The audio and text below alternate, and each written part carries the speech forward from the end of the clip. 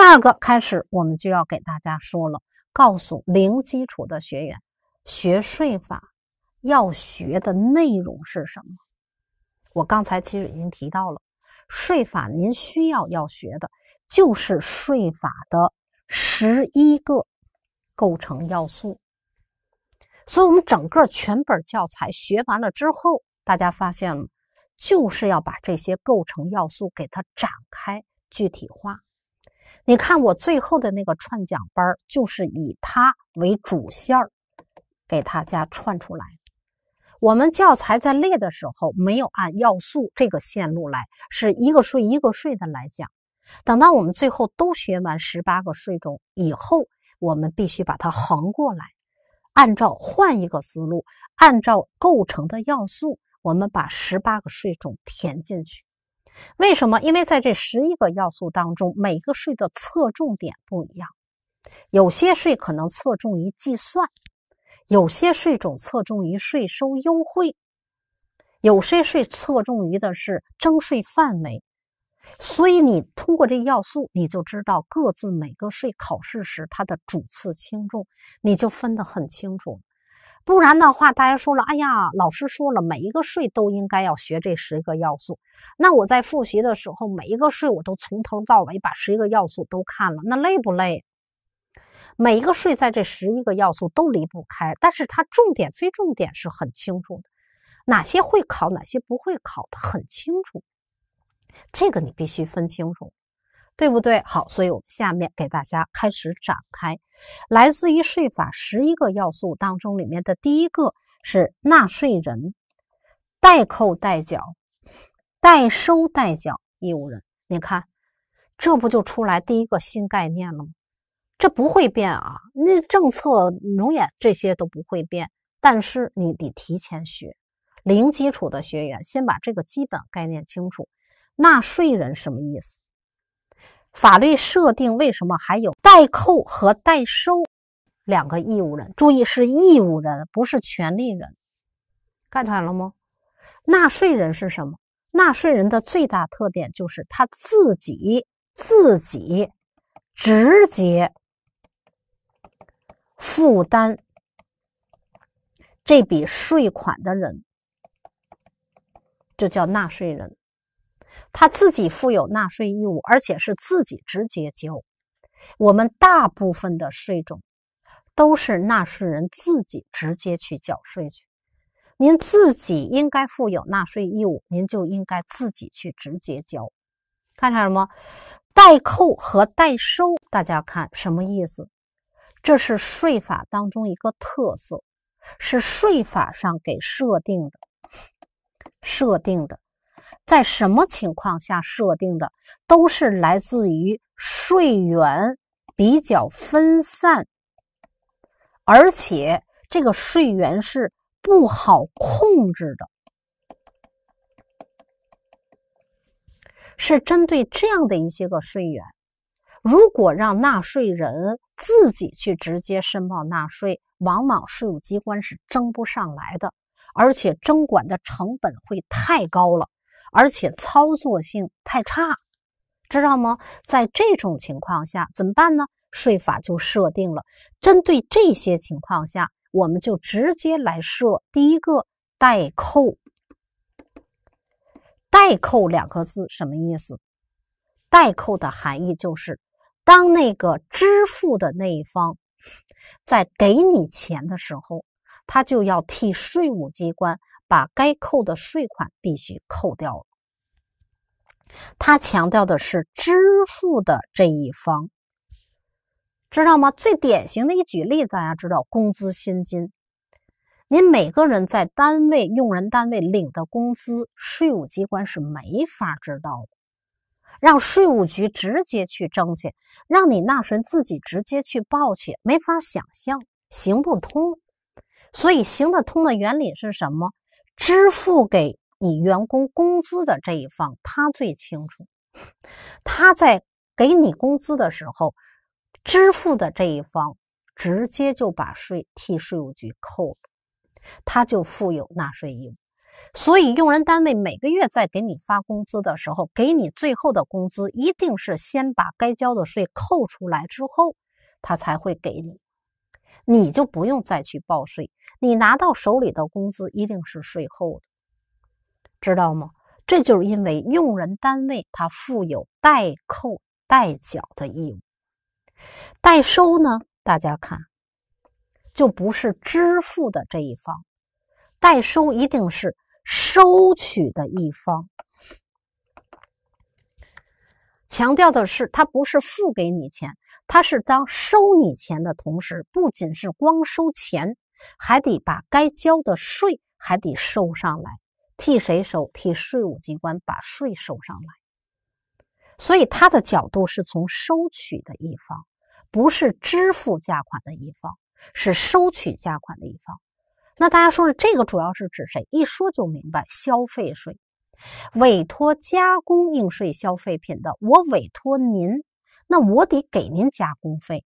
您收我加工费的同时，您不能光收加工费，您还得要代收一笔消费税，清楚了吗？哎，所以您看，这就是设代扣代缴、代收代缴设定的主要目的，大家明白就行了。它主要是基于什么？基于这些税源特别分散的、不好控制、不好征管的、不好控制的这些纳税人，你没法让他做到自行申报。所以，为了能够保证税款不至于流失。所以在税法上就设定了是由支付价款的一方，或者是直接由收取价款的一方负有代收代扣的义务，这样税款不就不流失了？好，把这个基本概念大家先清楚，清楚吗？然后下面我们就来看，首先在纳税人上，我这里不详细讲，但是一定先把原理要先告诉大家。在纳税人当中里，第一个最重要的税是增值税。为什么增值税重要？是因为在纳税人这要素上，增值税是有它独有的特色，是所有其他的税所不具备的。是什么呢？他要先把纳税人分成一般纳税人和小规模。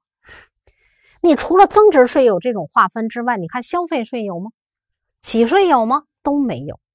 都没有，只有增值税才有这个特色，分一般和小规模。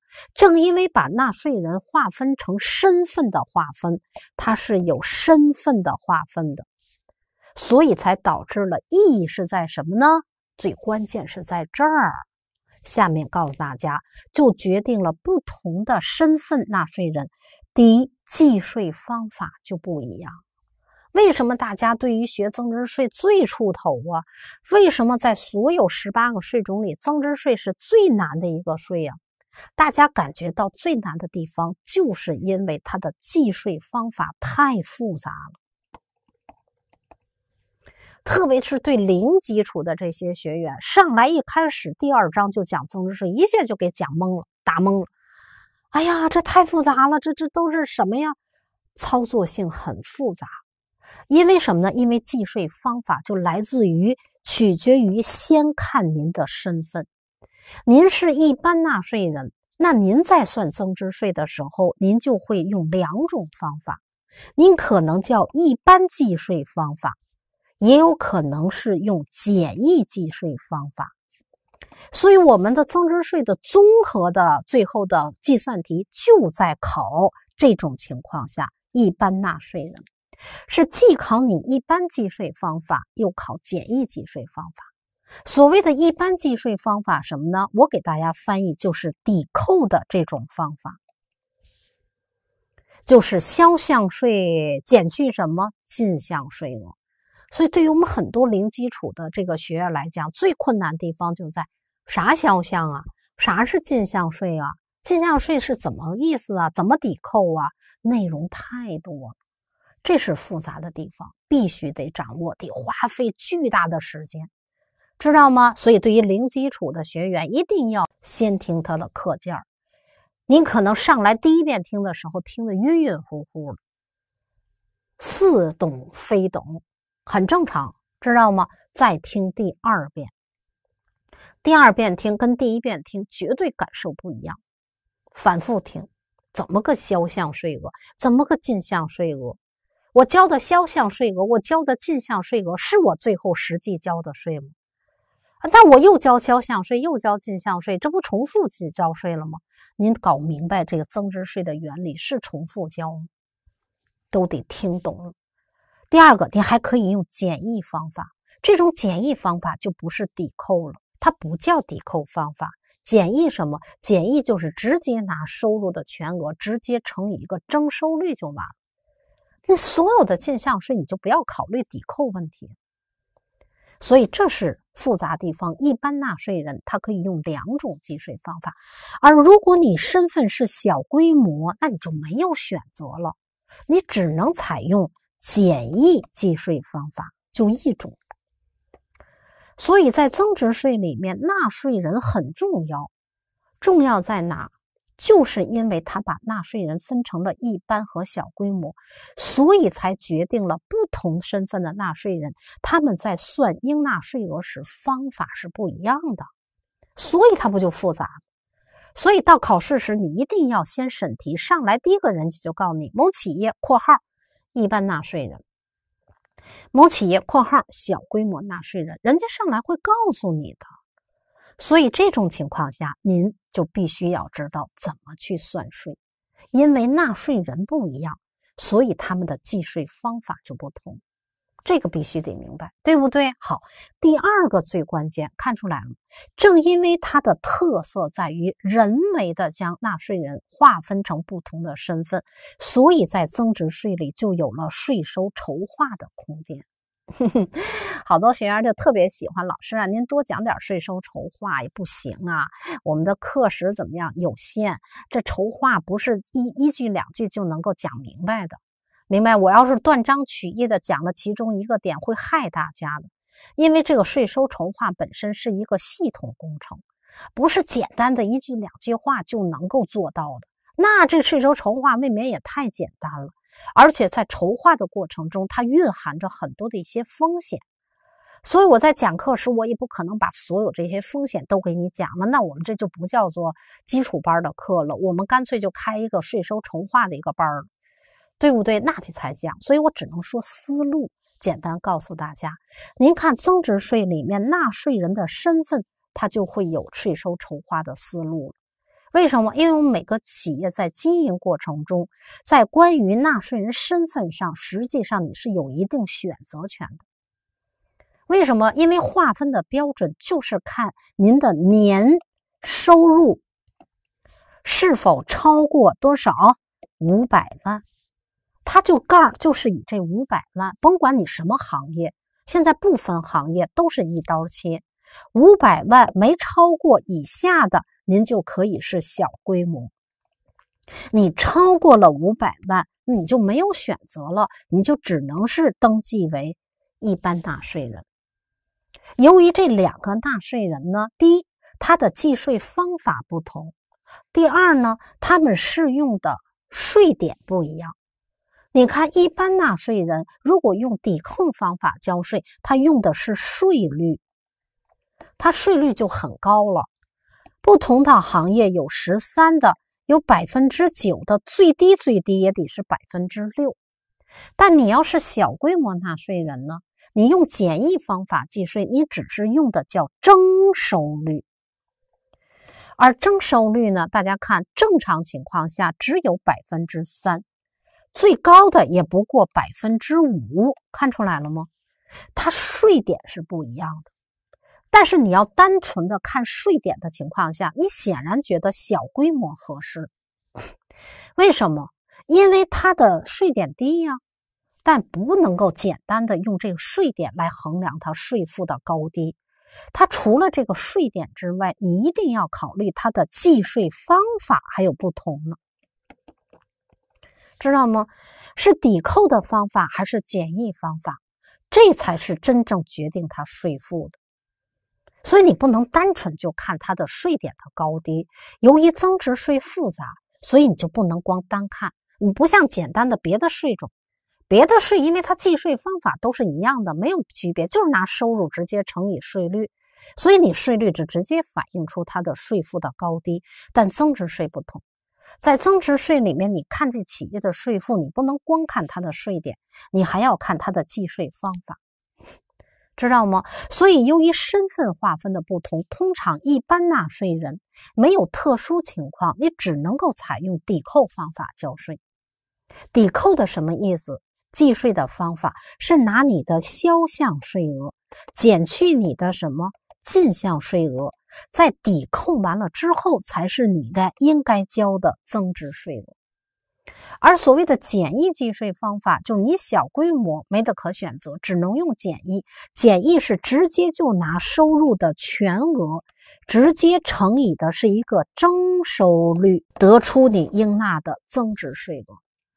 你要充分考虑他们的计税方法，最终才能够决定我当一般纳税人合适，还是当小规模纳税人合适。如何测算一般和小规模的税负？这两者之间税负的那个平衡点，这就是我们学税法一定要考虑的。因为增值税，你首先要知道它最大特色是什么。当你用抵扣方法交税的时候，一定要注意看您的增值率。此时，这个抵扣方法交税实际上是针对您增值的那一部分，您才需要交税。增值一定是拿你收入扣去了相关的什么成本之后得出的增值率，对不对？你的增值率其实是多少，直接会影响你的税负的高低。知道吗？取决于最关键地方是你的进项，而你所谓的进项不就是你的成本吗？在你所发生的成本当中，不见得所有的成本产生的进项都能抵扣。增值税复杂就复杂在你产生交是交了进项税，但是这个进项税能不能从你的销项税额中能不能抵扣，那可不一定。有些你交的进项是可以抵扣的，但是有些进项税额是不可以抵扣的，知道吗？如果不能抵扣的情况下，那意味着你就重复交税。你进项税的是进来交了，出去时该怎么交还怎么交，这不就重复？你税负肯定重。如果你充分的能从销项税中抵扣干净了，相当于你把你上一环节交的税转嫁出去了。那你税负就轻，而我们现行的增值税法里说了，你这个进项税额要想从销项税额中抵扣，很其中最重要的一个因素是看什么？你能不能拿到增值税的专票？这是一个最基本的一个前提要件。如果你买进东西的时候，你根本就没有拿到增值税的专票，那你就没法抵。上家给你开的普票，但是你照章要交税的。那个普票里也是价税合计的，但是由于你普票你不能抵，你价税只能进成本，它就没法抵扣这税了。那你再销项时该怎么交怎么交，你没法转嫁了，你税负自然就重。所以呢，这个时候衡量一个企业的税负，一定要看你的进项税额成本的占比。你的如果成本的占比很低，收入非常高，那你增值率肯定大，知道吗？当增值率超过一定的比例的情况下，我就告诉大家，你要是一般纳税人，你税负肯定比小规模重。所以这个时候一定要算出一般和小规模它的税负的平衡点是多少，会算吗？大家看，很好算。这个税负的平衡点，一般和小规模，我们就拿销售货物来说，你一般纳税人一定是拿你的收入乘以百分之十三，跟你小规模纳税人收入乘以征收率多少？百分之三，你就可以算出它的税负平衡点是在多少，知道吗？这个平衡点大概是在二十三点多。这个增值率只要是超过二十三点多，意味着一般纳税人的税负就重，知道吗？啊，当低于二十三点多的情况下，一般来讲是小规模税负就重。为什么？因为小规模交税时它没有抵扣问题，所以它就带有重复交税问题啊。所以我们说这个是税收筹划，它取决于你的纳税人身份。所以你身份不一样呢，你计税方法不一样，这就会给你带来了一个税收筹划。都说这些了，老师说您说的太专业了，太复杂了，这就有点不太好理解。我就说一个最通俗的例子，比如说您是一个一般一个企业，您在做一般纳税人，你想新开办一个企业，知道吗？新办的，当您在新办的时候，您就可以选择了。我是登记为一般还是登记在小规模？您对自己将来未来的企业的经营业务的特点要有一个准确的预测，知道吗？预测什么？预测就是我企业将来我的收入、我的成本核定出我的增值率应该是在大约多少。如果预计我将来这个企业本身我所占的这个成本当中可抵扣的进项税额这个比例很低，没多少可抵的，我的企业特点决定了我买东西时基本上面对都是个体户，个人很难拿到增值税的专票。当你预计将来未来我可抵的进项税额很少很少很少。但是我的收入怎么样？还挺挣钱，收入比较高，懂吗？在这种情况下，您就应该知道了。那我在一开始选择的时候，我一定要选择成什么小规模身份，明白吗？为什么？因为我这增值率高啊，高的情况下，我要是变成一般纳税人，我税点还高呢，我得按十三交税。所以我通过实现的增值额这一部分，我得按十三个点交，这时我就不合适了，明白吗？这时我要变成小规模呢，我仍然是收入高没关系，但是我就变成按百分之三了，我进项就不抵了。本来我也没有多少可抵的，我就仨瓜俩枣呢，我宁肯重复也没关系呀，但我整体税负是按三交的，因为我收入高。所以你看，增值税里面，它就在纳税人上，它会有筹划空间的。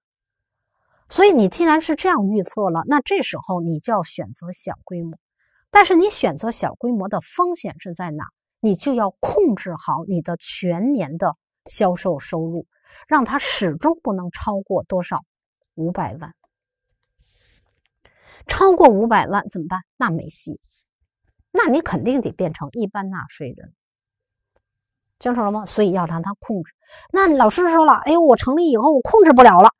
哎呀，我这个收入好家年年挣钱呢，一定一看一看开票，马上就超过五百万了。知道怎么办？拆分呢？原来不一个企业，一个修理厂，您再列出去呀，拆分成另一个修理厂，你把一部分业务拆分成一个新的一个企业，让这两家始终都在多少五百万以下。这不就行了？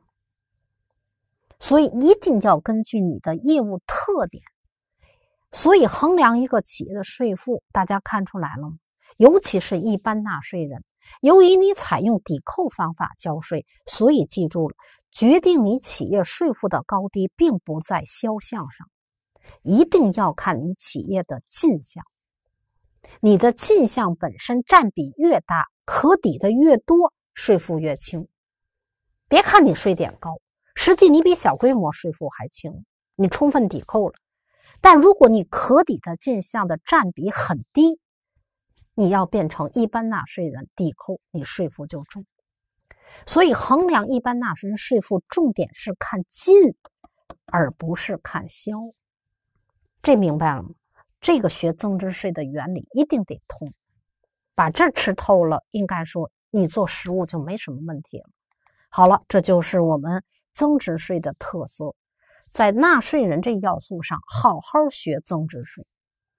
至于我们考试太简单了，考试就是客观题，知道划分一般和小规模那五百万基本上就行了，它几乎都不考。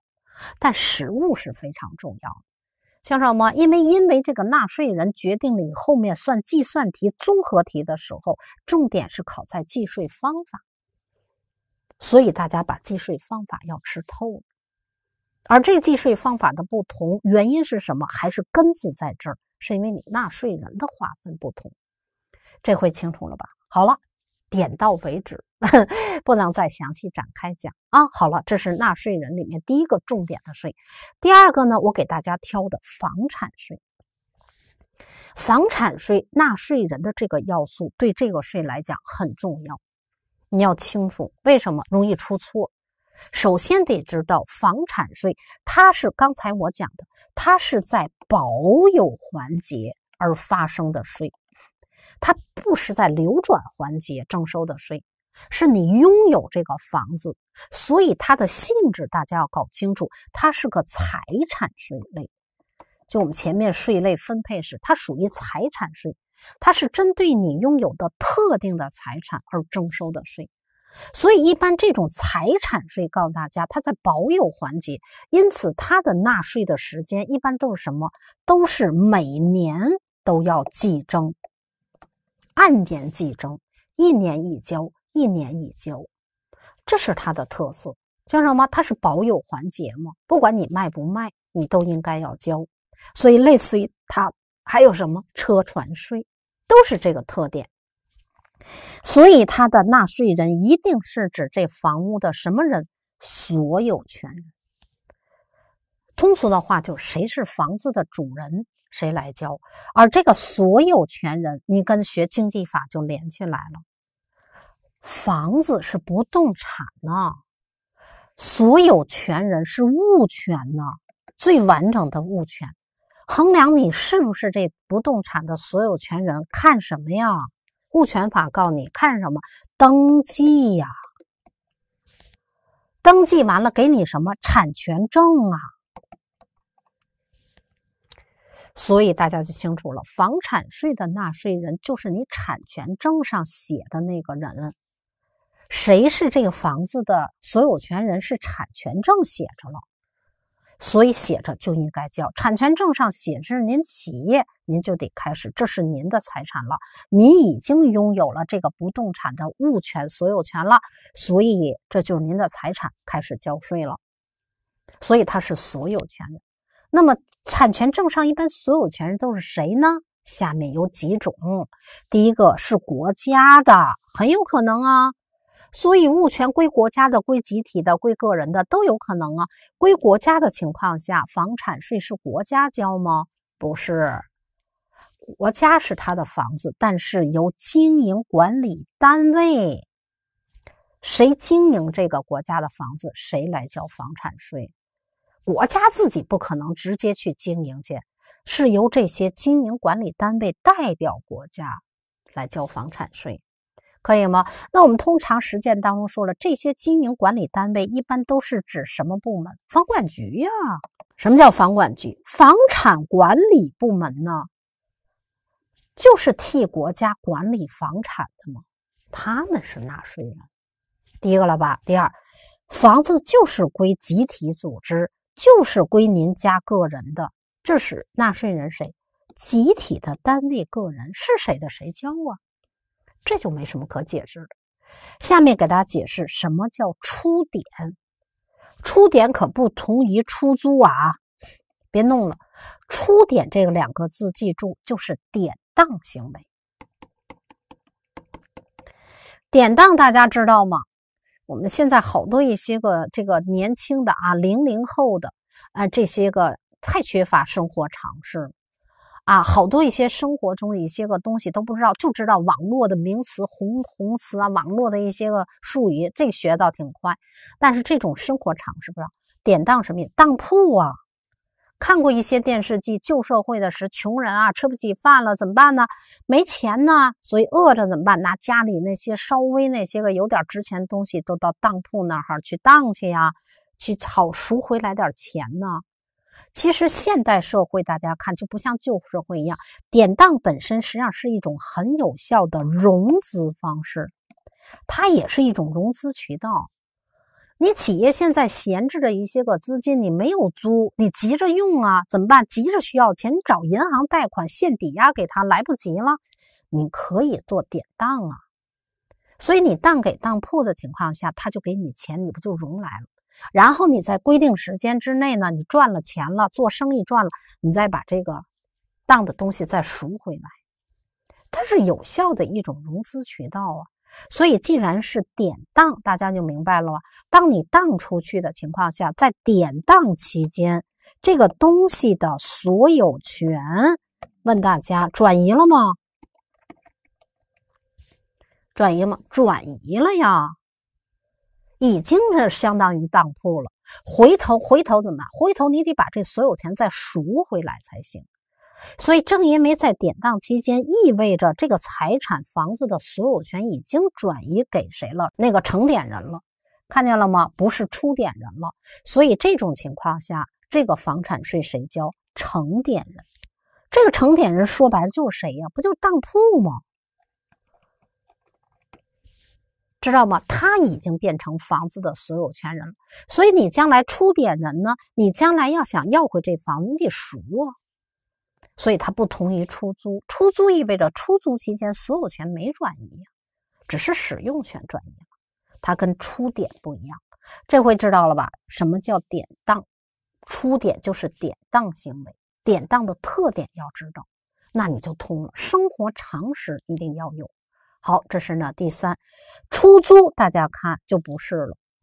出租的情况下要分属于经营性的租赁。还是融资性的租赁，这不就跟会计连起来了吗？往往经营性的租赁就意味着只是转让的是使用权，所有权并没有转移，所以这房子谁来交？出租人来交，你还是房屋的主人。但是如果是融资租赁的房屋，大家发现从会计上实际上相当于认定为所有权转移了。既然所有权转移了，所以纳税人就不再是出租人了，就变成谁承租人了？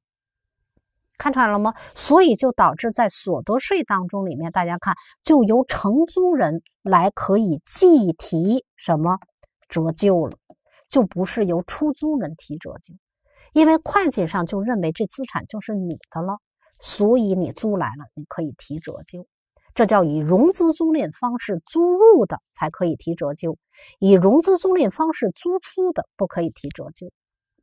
来自于这儿，好了，所以房产税也就知道了啊。好，下一个特殊的是拿房子跟人家投资合作，这一投资一定要看你的特点担不担风险。如果你担风险，才真正叫投资入股了。意味着所有权等于发生转移了，转移到被投资方，因为您跟着利益共享、风险共担了，所以这个时候相当于房屋的所有权转移给谁了？转移给被投资方，他是房子的所有权人，他交。如果是你不担风险，你只是收取固定收入，相当于只是租出去了，这种情况意味所有权没转移。投资方，您来交房产税。所以，对于谁来交房产税，最难地方就我刚才说的，该交房产税，但是房产税谁交，在房产税里是比较复杂的，所以它有不同的特殊情况。所以，你只有弄清楚谁该交，计算题才能保证正确。本来是所有权已经转移了，不该他交的，结果您在那还算房产税了，这就麻烦了。所以，这个是在纳税人当中我们要掌握的第二个，就是房产税比较复杂。这个税只要清楚了，大家结合土地使用税结合在一起就好说了。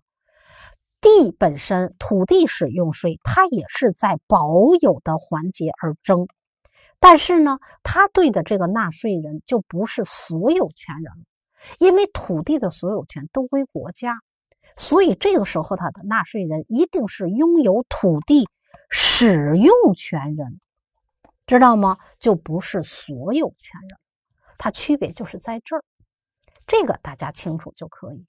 好了，这就是纳税人当中这个要素里，我们给大家解释的第二，这些记住了都不会变，你提前学很重要。